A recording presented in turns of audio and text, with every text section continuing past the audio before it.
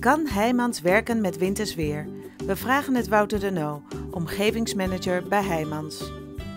Als het erg vriest, dan wordt het al wel lastig, want dan is er ook glijgevaar. En als het dan kouder is dan 6 graden onder nul, ja, dan gaan de mensen in een zogenaamde vorstverlet. Dus dan kan er echt niet gewerkt eh, worden. En als het minder koud is dan 6 graden, ja, dan moeten wij ook opletten dat er geen eh, glijpartijen op het werk ontstaan.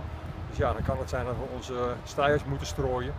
Maar als bijvoorbeeld sneeuw op de stijger ligt, ja, dan werken we bijvoorbeeld niet.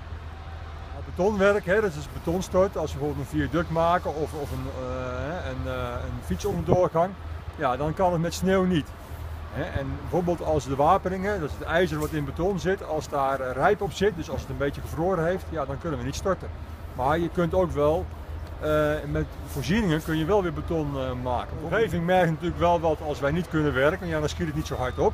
En dat, uh, daar, daar, daar, communiceren we dan over. Op de website, op de Facebookpagina van N23 geven we aan als er, zoals in dit soort omstandigheden, niet gewerkt kan worden. Als het hard sneeuwt, dan, dan moet er wel gestrooid worden, maar dat doen we als Heimans niet zelf. In we hebben van tevoren afspraken gemaakt met, met de wegbeheerders van de provincie en van het Rijk, maar ook van de gemeente, wie welk deel binnen ons project strooit. Maar waar helemaal geen strooiwagen kan komen, ja, daar strooien wij dan, bijvoorbeeld op de fietsbrug bij de Oostergouw. Daar strooien wij, maar ook als wij zelf aan het werk zijn, onze plankiersstijgers, als het echt te glad is, ja, dan moeten we die ook strooien.